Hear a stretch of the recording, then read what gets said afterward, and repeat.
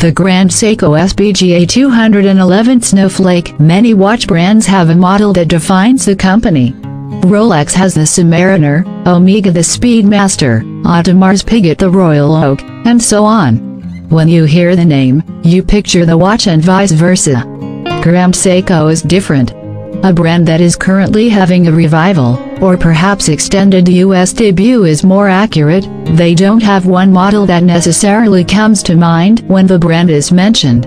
They have all sorts of concepts that do, however, such as finishing, Zaratsu, texture, spring drive, high beat, value, and craft, to name a few. But while there isn't a specific model that defines them or their aesthetic, there is a model that serves as many's entry into their catalog, the SBGA 211, also known as the Snowflake. Before I really knew much about the brand, nor their movements, nor before they were readily available in the US, I did, somehow, know about the Snowflake.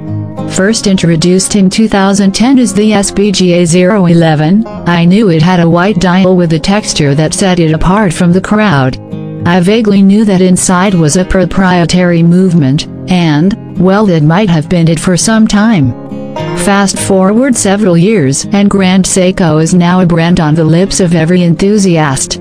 The watches are available at ADs across the US, and there are even boutiques in NYC. The Grand Seiko catalog has grown and changed with the seasons, but the Snowflake remains a fixture. The Grand Seiko SBGA 211 Snowflake is a watch that brings you into the brand, even if it's not the watch you end up purchasing from the brand, it does encapsulate much of what they do so well, and what makes Grand Seiko different.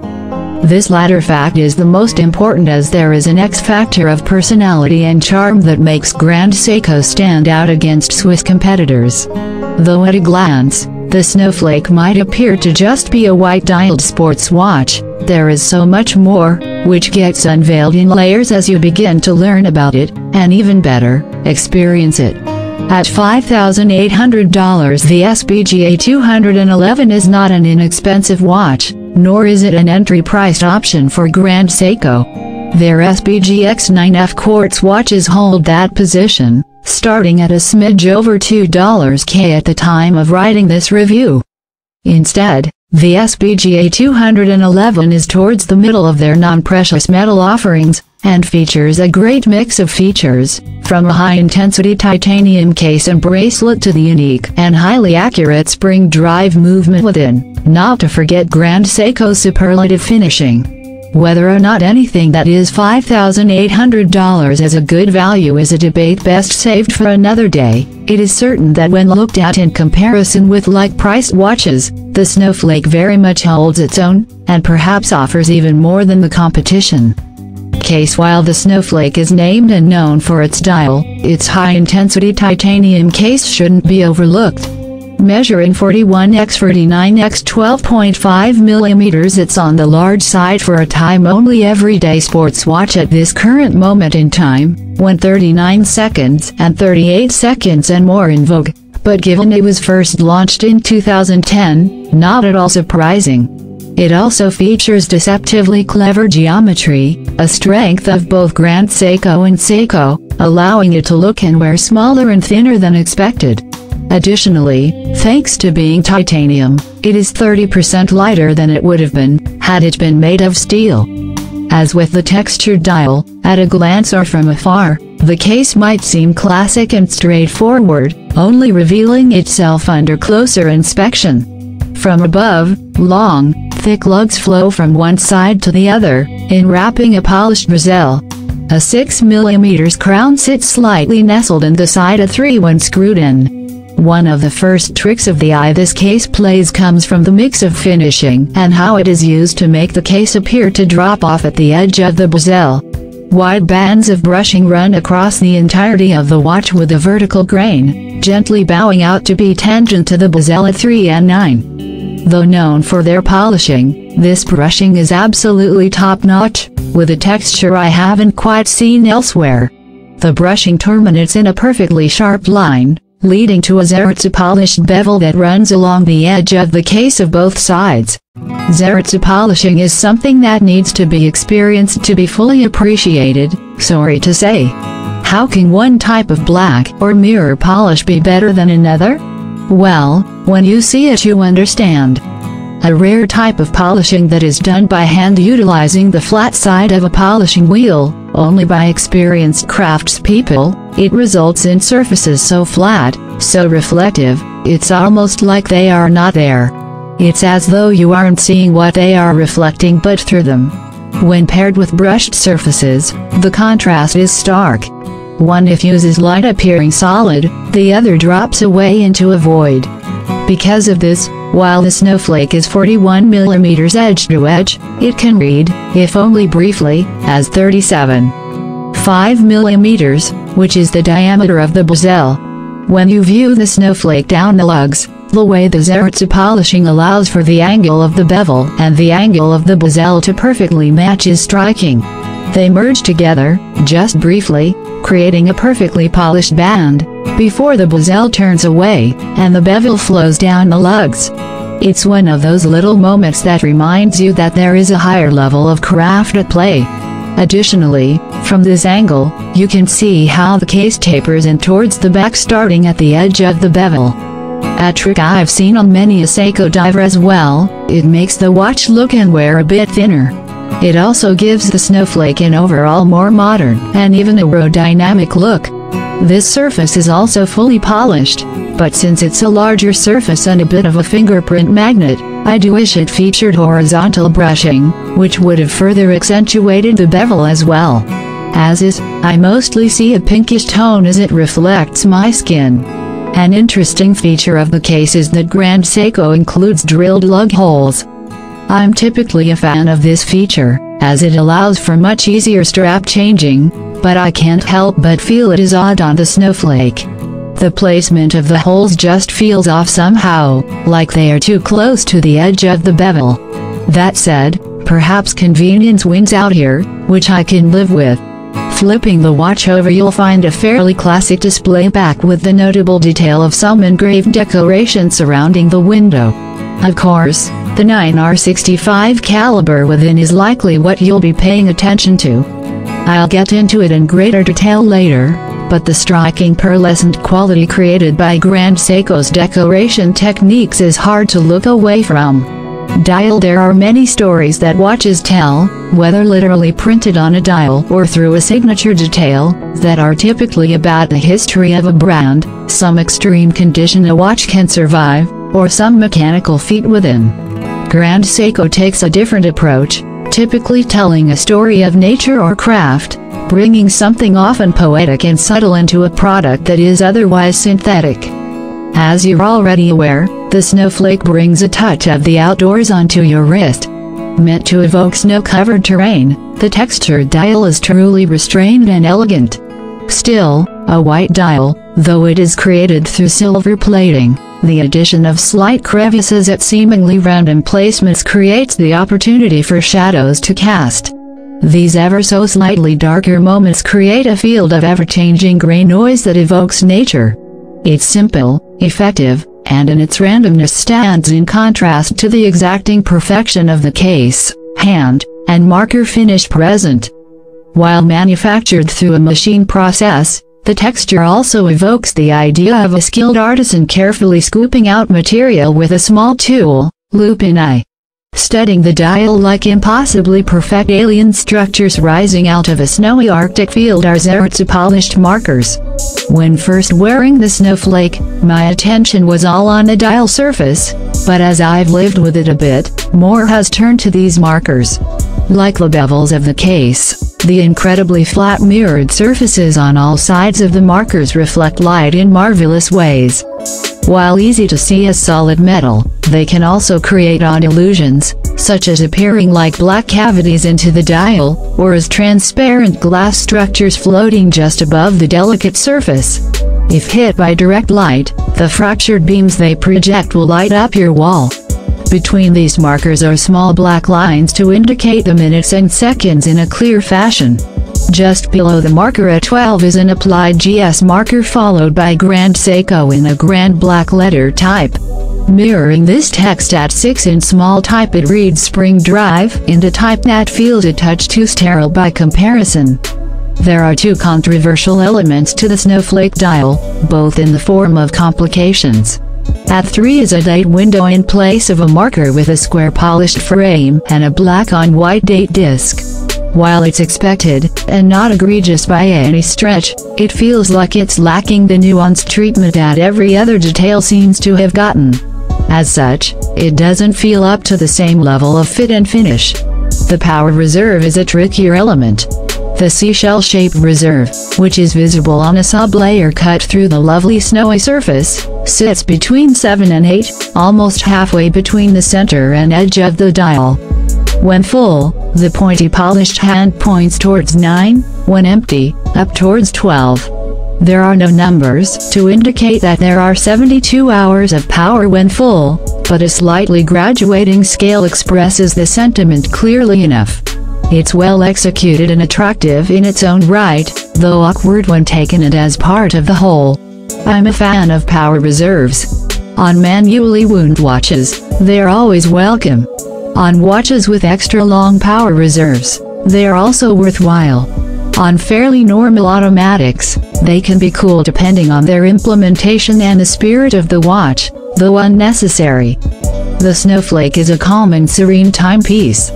From the emotions the dial evokes of peering out over an expanse of untouched snow, to the unnaturally smooth motion of the glide motion seconds hand, it's tranquil, quiet and consistent. The power reserve indicator disrupts the experience, as does the date window, creating slight distractions in the miniature transcendent moments one is lulled into while peering at the dial. They don't ruin anything, nor do they take away from the watch's other outstanding features, but one can imagine a version without them, and long for what that might be like. The signature Grand Seiko handset is utilized on the Snowflake. The hour and minute hands are in the Dauphine style and are perfectly polished on top as well as on the razor-sharp bevels that give them GS's distinct look. The beauty of these hands really can't be understated. There is a reason there are hundreds of macro photos of them floating around Instagram, they are just perfect. This is what high-end finishing truly looks like. The Heat Blued Seconds hound is drop dead gorgeous as well, taking on the form of an ever so slightly tapering stick with a wider counterweight on the far side. The only color on the dial, the black blue that only comes from tempering is the perfect accent to the snowflake surface. In addition to its own beauty, it also draws a little more attention to itself, which in turn puts the signature glide of the spring drive movement into the spotlight. If in-house movements are rare in the scheme of things, movements that are totally novel are truly unicorns, and typically only found in the realm of the haute independence. Movements that deal with extremes, such as hyperaccuracy, constant force, conceptual escapements, etc just aren't typically found in mass production. Grand Seiko's spring drive technology is truly in a league of its own, as it does go beyond the specs of typical mechanical movements, but rather than doing so with traditional methods brings in technology in the form of quartz regulation. The result is a hybrid that is often thought of as the best of both worlds. Rather than explaining it in great detail, as that would take an entire article and a video, here is a link to an entire article with a video that does just that. Read that now, or later, but for those in a rush, here's the abbreviated version. Normal mechanical watches use escapements, typically of the Swiss lever variety, to release the energy stored in the mainspring in tiny, precise increments that are translated into hours, minutes, and seconds by a gear train. They also create the telltale ticking of a watch, as well as the step sweep of the seconds hand. The Grand Seiko 9R65 spring drive caliber spring drive foregoes the traditional escapement for a glide wheel and a trisynchro regulator rather than a locking mechanism to release the energy, an electromagnetic braking system is used, controlling the rate of the glide wheel, which is turning in one direction without interruption, hence the motion of the seconds hand. The quartz component comes into play here as the rate at which the brake is applied is regulated by an integrated circuit that is using the quartz oscillator as a reference signal, comparing the glide wheel against it, adjusting as needed. It doesn't require a battery because the electromagnetic brake actually generates enough current to run the system. In the end, what you have is a mechanical movement with 72 hours of power reserve that is wound like any other automatic mechanical watch, but rather than ticking, uses a novel release of energy that is, essentially, monitored by a quartz brain to produce accuracy of plus minus one second a day. This escapement alternative is also friction-free, reducing wear and tear, mitigating one of the biggest issues of mechanical watchmaking. Additionally, spring drives don't succumb to positional variance, so no tourbillons needed here. With that crash course out of the way, inside of the Snowflake is the 9R65 caliber. As in-house as they come, decorated to the nines, and completely proprietary, it's the not-so-little thing that makes the watch truly different. From the dial side, the ethereal, silent steady glide of the second hand is a telltale sign that what is within is not your usual timekeeper and a subtle reminder that time is a constant flow. Though not the only watches in history with truly smooth sweeps knowing it is linked to the mechanism with great accuracy, and a direct effect of how it works, makes it seem like it's doing something special. From the back, you'd be hard-pressed to tell this wasn't a traditional mechanical movement at a glance. Beautifully decorated with deep stripes and beveled edges, Grand Seiko's movements are the only I've seen that create a sort of rainbow shimmer in direct light. Of course, once your eye hunts for the escapement, you'll find instead a set of wheels spinning at incredible speeds, the only indicator that there is more at play. For a view beneath, be sure to check out the Naked Watchmaker's breakdown. In practice, it's easy to forget that the watch you are wearing is different, and at least in terms of accuracy, better than any mechanical watch you own. There is a certain amount of irony in the fact that Grand Seiko's own 9F quartz watches are far more accurate even than Spring Drive, and typically for a lower price too. Sure, the sweep of the second hand is a reminder, but hyper-accuracy is, at least in small doses, sort of hard to grasp. However, after wearing the watch on and off for a few weeks, not letting it ever completely die, and finding that it's still in line with my reference is impressive. Combining an awareness of the accuracy with the fact that it's unique to Seiko Grand Seiko Credor, does make the watch feel different and stand out from other time-only watches as though it had a unique complication or function. Straps The Snowflake comes mounted to a solid high-intensity titanium bracelet. It's a five-link design with three brushed links alternating with two thin polished links that tapers slightly down to a pleasantly small clasp.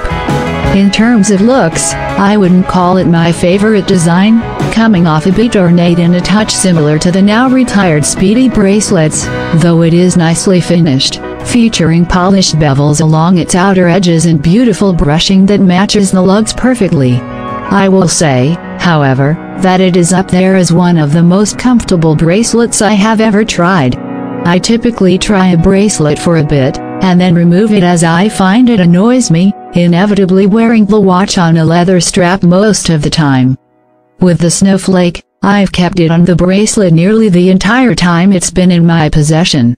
Though it doesn't feature any micro adjustments, nor does it taper much, it wears effortlessly. It's super lightweight, and thanks to titanium's low conductivity, has a neutral temperature making it simply less noticeable. I guess I've never spent much time with a titanium bracelet before, as I'm very impressed. In terms of style, the bracelet is definitely on the formal business side of things. Luckily, the snowflake does take well to leather and can be dressed up or down accordingly. I tested it on a dark blue shell Cordovan strap, which plays nicely off of the blue seconds hand, and gives the watch a slightly more casual attitude, but would still look good with a blazer. On a rugged brown Nevik strap, the Snowflake is in weekend mode, looking sportier and far more casual. The versatility shouldn't really be surprising considering the Snowflake is a white dial sports watch at the end of the day. On the wrist I remember the first time I picked up a platinum watch. It was at a watch meetup and I was blown away by its weight. It was like the very mass of this item spoke to its value. It was absurd, yet oddly appealing. Typically, we do associate some level of weight with value. It's one of the reasons people think quartz watches are cheap, they simply lack the metal to have heft. The snowflake opened my eyes to luxury as lightness. Why add discomfort when luxury can also be defined as ease? Silky sheets, leather interiors, titanium watches. Though the material itself isn't costly, the experience of a truly lightweight watch is definitely luxurious. It's with this in mind that I found the snowflake, bracelet and all, so enjoyable on my wrist. Yes, it's 41x 49x 12.5 millimeters, which by today's standards are dive watch specs, but on the wrist, it works. I never felt like I was wearing a big watch, and I think the lack of weight led to that deception. Instead, I saw a watch that held its own on my wrist. A watch that felt modern through and through, but tasteful as well. Would I like to imagine it a bit smaller? Sure, but unlike with other watches where that might be the case, it wouldn't necessarily improve anything. As is, the snowflake utilizes polishing and strong lines to appear smaller. The difference between being and appearing, though, is that snowflake has an unexpected ruggedness to it. While I might first think about the contemplative dial and the silent gliding seconds hand, the snowflake is a 100 meters watch with a screw-down crown as well. This isn't a dress watch, even if it works as a formal watch. While smaller watches certainly have these same stats or even greater, I think had the snowflake been smaller and more slight, the elegant elements could have felt too decorative, taking the whole watch into too dressy and even fussy territory. I will say a touch thinner would be welcome though. I know this is a common critique for Grand Seiko, but I can't help but think even a few millimeters would just make it wear even better. Conclusion One can think of the white dial sports watch as a sort of platonic ideal within watches. It's a thing, just like a black dial bezel dive watch. A staple, a go-to, something every collector could have because its versatility incarnate. Like a pair of brown leather shoes, or a blue blazer, should you need it, it's there and will work regardless of the situation. And yet, like those shoes, you can go for the basic version to get the job done, or pony up for ones from Alden that are nearly identical from afar, but are made of cordovan and cost many times more. The difference is craft, materials, history. All of the intangibles that make you, the owner and educated consumer, excited to wear them. The Grand Seiko SBGA 211 Snowflake is much the same way. It's a white-dialed sports watch that might seem like many others at a glance, but upon closer inspection has a ton more going on, should you want to dive in.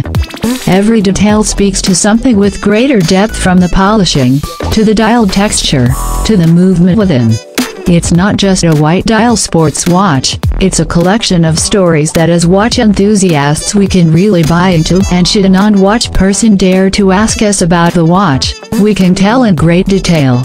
In terms of price, at $5,800 the Snowflake is not inexpensive, nor is it unobtainable, especially second-hand. In context of other similarly priced and themed watches, such as the Omega Aqua Terra 150 meters, it makes total sense as they are comparable, on the surface, in many ways. Both are 41mm sports watches that can be dressed up or down. Both have in-house movements with unique aspects, one being a master coaxial, the other spring drive. Both are from respected brands with rich histories. Both even have textured dials. What makes the Snowflake, and likely many other Grand Seikos by extension, stand out is that the level of finishing exhibited on the case, dial, and hands is typically on yet another level. A favorite brand for macro photography on Instagram, Grand Seiko stand up to watches with yet another decimal in their price tags. Sure, you can only truly perceive this level of detail with a loupe, but when wearing it, there is a sense that everything is sharper and cleaner than on other watches you've worn. add in a unique and highly accurate movement, and you have a watch that really holds its own. So, whether or not the Snowflake is the right Grand Seiko for you is another story, but as a way into understanding the brand and what sets it apart, it still serves as a great place to start. After spending some time with the watch, the allure of a Grand Seiko and of Spring Drive is very strong, though I must say that so is the idea of their 9F caliber. Less expensive, even more accurate, and the watches are still finished to the same level. Decisions, decisions. Grand Seiko.